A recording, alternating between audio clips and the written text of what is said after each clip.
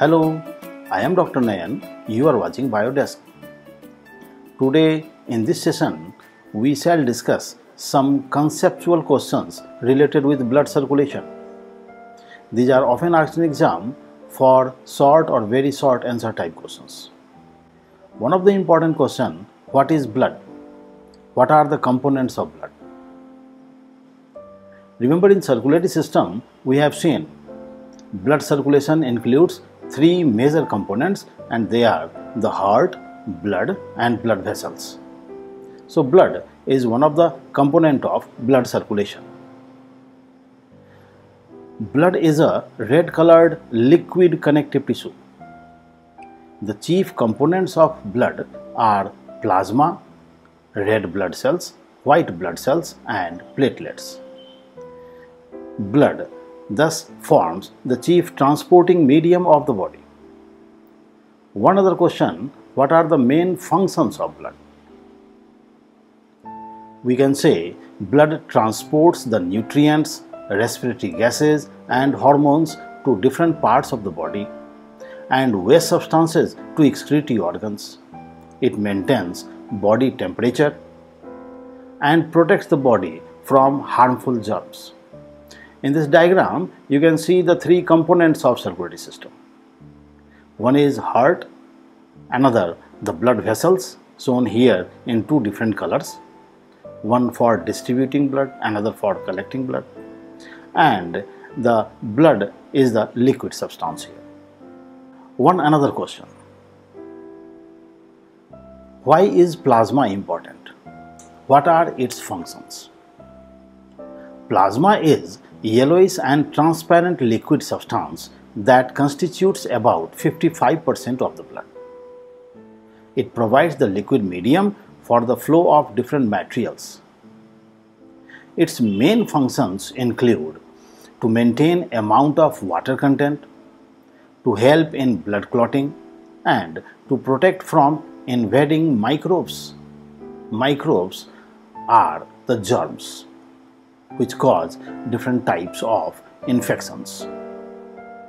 So, blood plasma, the circulatory medium for different materials. Let us move towards another question. What is the effect of decrease in number of red blood cells in the body? The decrease in number of RBCs or red blood cells in the body reduces the oxygen carrying capacity of blood. This results in lower level of energy in the body. So the person gets tired soon. Remember, RBCs contain hemoglobin, which has great affinity with oxygen. What is the disadvantage of having more white blood corpuscles? White blood corpuscles or leukocytes, also called internal soldier of the body. We have discussed in the chapter. So here we say WBCs destroy the germs and debris in the body, but if its number remains higher than the normal for a long time, then the person may suffer from a disease called leukemia. This is also called blood cancer. One another important question.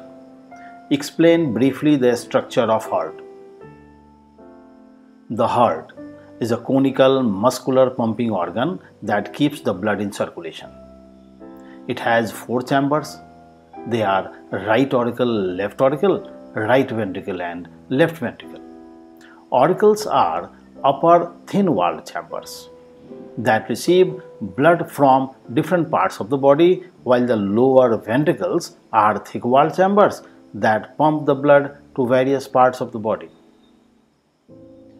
Remember in the chapter we have discussed four chambered heart, two auricles, two ventricles, auricles receiving chamber, ventricles pumping chamber. One another question. What substances do cells and tissues get from capillaries?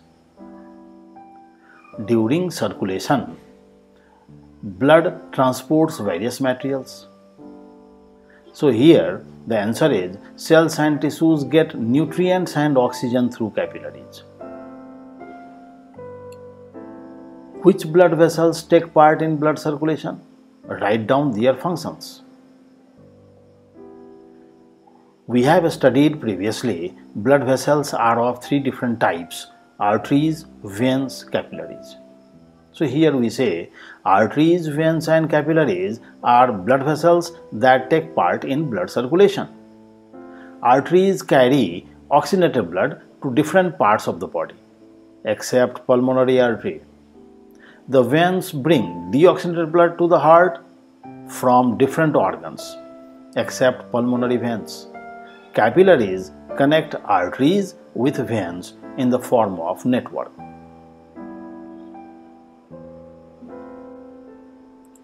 One another question. Which blood vessels take impure blood to right auricle and pure blood to left auricle? Superior vena cava and inferior vena cava carry impure blood to the right auricle, while pulmonary veins carry pure blood to the left auricle. Let us see the diagram. The heart remains connected with different blood vessels. The blood vessels connected with the two ventricles are called aorta. Pulmonary aorta arising from right ventricle carries deoxygenated blood to the lungs and pulmonary veins carrying blood from the lungs to the left auricle. This one collects oxygenated blood. So that is the answer here. One other question. What do you understand by heartbeat? When does it increases? The heart contracts and relaxes regularly and alternately. One successive contraction and relaxation constitutes one heartbeat. The heartbeat increases with tension, physical exercise, fear, and fever. Let us move towards another question. Here, the question is what is blood pressure? If a person has a blood pressure of 120 by 80 mmHg, what does it mean? Blood pressure is the force exerted by blood on the walls of heart and the blood vessels. If a person has a blood pressure of 120 by 80 mmHg, it means that the person has 120 mmHg systolic blood pressure and 80 mmHg diastolic blood pressure. So higher value is systolic and lower value is the diastolic blood pressure. This is the normal value found in healthy resting adults. Let us move towards one another question. What is systemic circulation? Remember, during the study of blood circulation, we have seen two different types of circulation are found in our body. One is pulmonary circulation, another systemic circulation. So about systemic circulation we say the circulation between heart and various parts of the body except lungs is called systemic circulation. It distributes blood to different parts of the body. And what is pulmonary circulation? So remember pulmonary term is related with lungs. The circulation between heart and lungs is called pulmonary circulation. It collects blood from different parts of the body to the heart let us move towards some reasoning questions. Here we have one of the important reasoning question left ventricle has more muscles than right ventricle. Right ventricle pumps the blood to the two lungs situated on either side of the heart.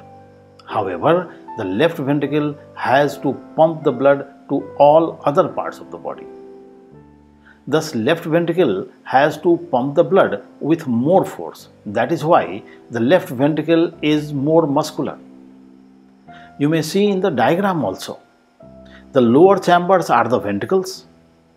Ventricles are the pumping chambers of the heart and if you observe the wall of the left ventricle, it is thicker than that of right ventricle.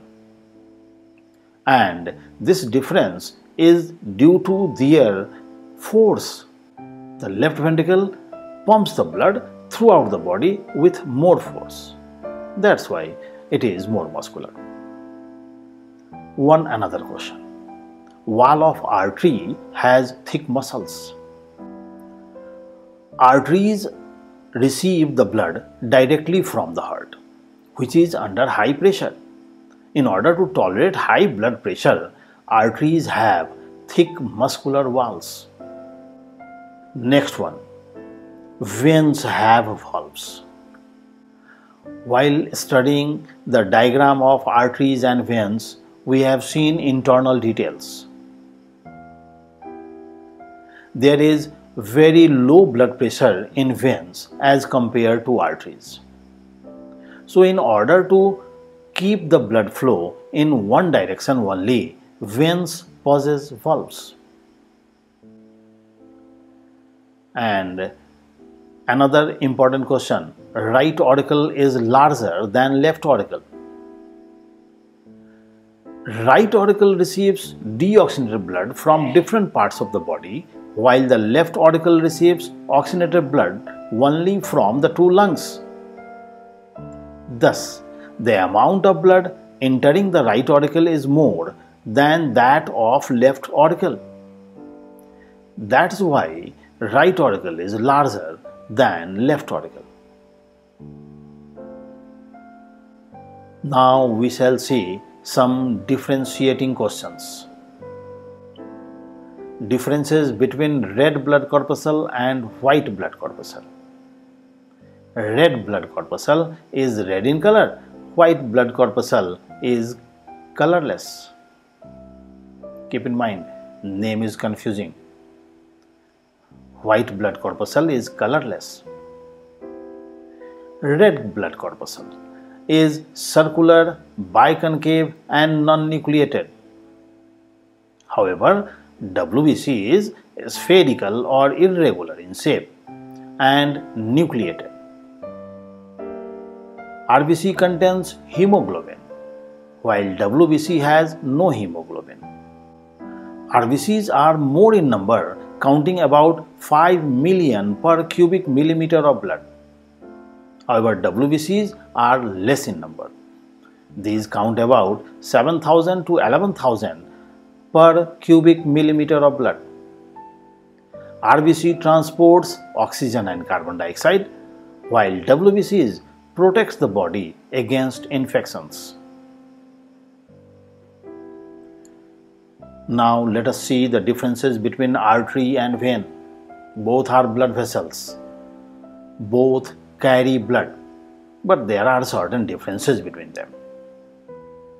Artery is thick-walled blood vessels while vein is thin-walled blood vessel. Artery has no valve, vein bears valve. The lumen or the inner space in artery is relatively small, in vein it is relatively large. Artery carries blood away from heart while vein carries blood towards the heart most arteries carry oxygenated blood while most veins carry deoxygenated blood.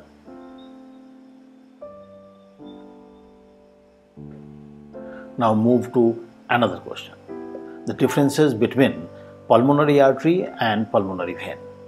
Both are connected with lungs. But one is artery, another vein. So remember the difference pulmonary artery arises from right ventricle of the heart. Pulmonary vein arises from the lungs. Pulmonary artery carries deoxygenated blood. Pulmonary vein carries oxygenated blood. Pulmonary artery supplies blood to the lungs. Pulmonary vein supplies blood to the left auricle. Pulmonary artery has relatively thicker walls, pulmonary vein has relatively thinner walls. Now, let us see the differences between tricuspid valve and bicuspid valve. Remember bicuspid valve is also called mitral valve. Tricuspid valve consists of three membranous flaps while bicuspid valve consists of two membranous flaps only. Tricuspid valve is present in the right side of the heart while bicuspid valve is present in the left side of the heart. Tricuspid valve opens into right ventricle bicuspid valve opens into left ventricle. Tricuspid valve regulates the flow of impure blood, while bicuspid valve regulates the flow of pure blood. This is all about some important conceptual questions related with blood circulation. Hope this session was useful. Stay tuned for upcoming videos do like and share this video and subscribe our channel. See you in the next one. Thank you.